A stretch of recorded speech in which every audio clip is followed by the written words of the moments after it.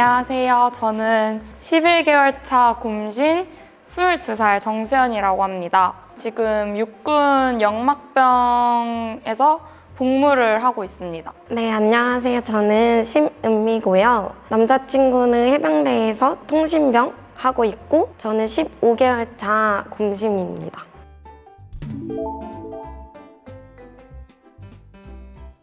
그냥 군인 친구들 봤을 때 그렇게 길다고 못 느꼈어가지고 느낀 늦는데 괜찮은 것 같기도 하다 정도였어요. 남자친구가 가보니까 어떤 것 같아요? 긴 것 같아요. 네, 일- 일단은 연상 연하라 가지고 저는 졸업을 준비하고 취업을 준비할 때인데 남자친구가 오면 이제 2학년을 시작한다는 게 그 텀이 그렇게 길었었나? 라는 생각이 들어요. 정말 군복무에 대해서 진짜 무지하고 진짜 막 계급 이런 것도 진짜 몰랐어가지고 많이 반성하고 서포터즈도 하게 된 거거든요. 군복무는 할 수 없지만 도움이 되고 싶다 해서 그냥 남친을 위한 것도 있지만 정말 우리나라를 지켜주시는 군인들을 다른 방식으로 도울 수 있다면 네.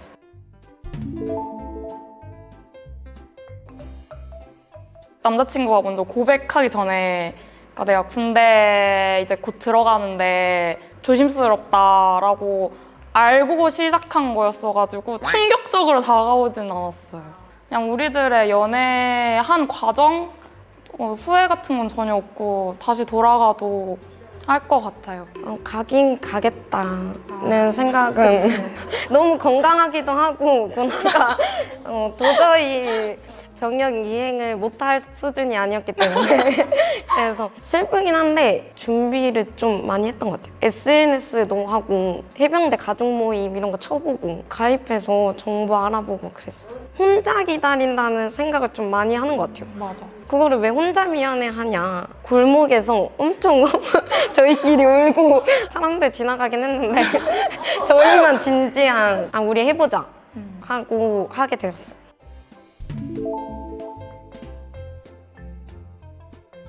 훈련당 동안에는 연락이 잘 안 되잖아요 연락이 잘 안 되는 이 허전함이 채워질까? 걔를 보내고 내 할 일을 내가 챙길 수 있을까?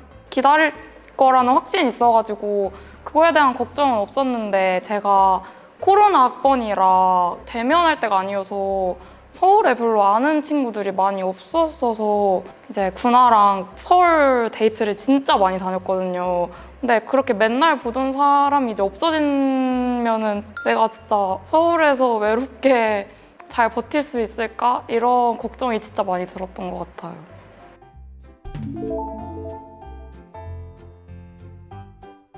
군화가 이제 목포 사람이거든요. 그래서 군대 들어가기 전에 본가에 가 있었거든요. 그래서 서울 목포 장거리 연애였는데 저희가 여수로 여행을 갔거든요.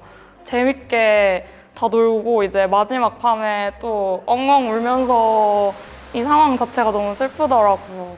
여수 여행 그 다음 날이 바로 입대 날이었거든요. 버스에서 인사를 하는데 너무 슬퍼가지고 저는 왜 저렇게 슬프게 울지라는 표정으로 다 약간 쳐다보시더라고요. 근데 그때는 그런 쪽팔림 하나도 몰랐고 그냥 계속 엉엉 울었어요. 뭐 크게 한 건 없고 저희 일단 각자의 교회를 갔다 왔어요. 정식 입소를 못하면 다시 또 이별을 해야 되는 거니까 그냥 지금 한 번에 합격하자. 꼭 정식 입소하게 해달라고 서로 잘 기다릴 수 있게 해달라고 군대를 가면 목사님이 항상 해주셨었대요 사진 보내줬는데 음, 괜찮았어요 바로 편지 받았을 때 음, 머리 덧 했다. 이래가지고 진짜 상륙 돌격형 머리가 됐다. 막 이러길래 음, 그렇구나. 군대 가기 전에 약속을 되게 많이 잡거든요. 저희 군화도 되게 바쁘더라고요. 전날인데. 군화가 그러는 동안 친구 만나고 집에 와서 뭐 챙겨줄지 챙겨놓고 막 이거 챙겼고 저거 챙겼고 사진이랑 편지도 했고 막 이거를 군화에게 보여주면서. 네. 그러면서 울었어요. 군안의 가족은 안 울었어요. 네. 저만.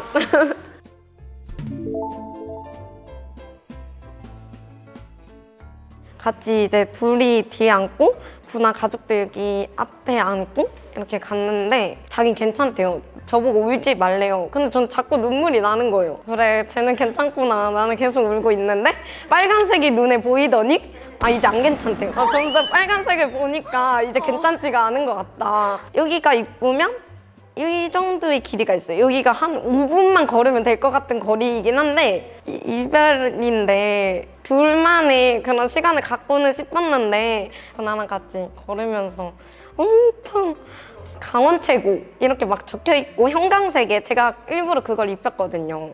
그 튀는 색이 보이면 사진을 좀 담아준다고 하길래 이, 입영 사진 때 나는 얻어야겠다 이 사진을 그래서 세 개나 얻었고 선배님도 막 제가 너무 슬프게 보이셨는지 오셔가지고는 한번더 봤는데 왜 우냐 그러시는 거예요. 한단 때는 연락이 안 되잖아요. 막 이러고 그냥 너무 슬퍼요. 막 이러고 잘 기다려주면 된다. 막 이러시면서 위로를 하셨는데 위로로 다가오지 않았습니다. 해병대는 가족 모임 카페가 또 따로 있거든요. 거기를 가입을 했었는데 미리 저를 본 분들이 거기에 글을 엄청 올려주셨어요. 공신님 봤다고 엄청 울고 있는 거 봤다고 진짜 많이 울었나 보다. 혼자서 울면서 돌아가는 모습을 남자친구는 봤어요. 그래서 그때 남자친구도 울었어요. 훈련소 앞에 안 따라가기로 했었거든요. 왜냐면 제가 너무 힘들어할 것 같다고 혼자 돌아가는 그 길이 그 이때 전 새벽에 영상 통화를 6시간 넘게 했거든요. 아, 안 되겠다. 가야겠다. 제가 논산 훈련소 그때 버스를 찾아봤는데 하나밖에 안 남은 거예요. 한 자리밖에.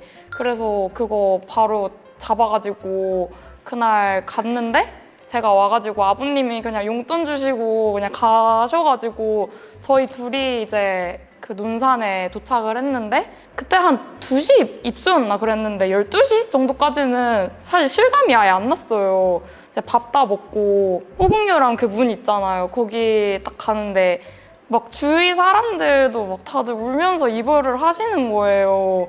그래서 막 그거 들으니까 나도 더 슬프고 거기 계시는 분이 이제 가야 된다고 막 호루라기 부시면서 그러는데 그 소리 듣자마자 저도 꾹꾹 참던 눈물이 터져나와가지고 그래서 엄청 남자친구 안으면서 엉엉 울었어요. 남은 하루를 어떻게 보내셨는지. 포항에서 돌아왔는데 7시쯤이었는데 밥을 먹으라고 차려주셨는데 계속 오느라 이게 손에 수저를 잡고 있는데 못, 먹, 못 먹고 있어가지고 그냥 입맛이 없다 하고 자던 방에 혼자 들어가가지고 실습도 해야 되고 시험도 얼마밖에 안 남은 거예요. 울면서 시험 공부하고 실습 그거 준비했어요. 그 보내고 이제 버스에서 또 돌아오는 길에 저도 계속 울면서 저 혼자만 돌아오고 났는데 저녁에 삼겹살 먹으러 가기로 약속을 했었는데 갑자기 갔다 온 거잖아요. 그래서 약속을 늦은 거예요. 그래서 언니가 완전 화나 있고. 근데 언니가 제가 훈련소 갔다 왔다고 하면 너무 한심하게 생각할 것 같은 거예요. 다행히 한심하게 생각하진 않더라고요.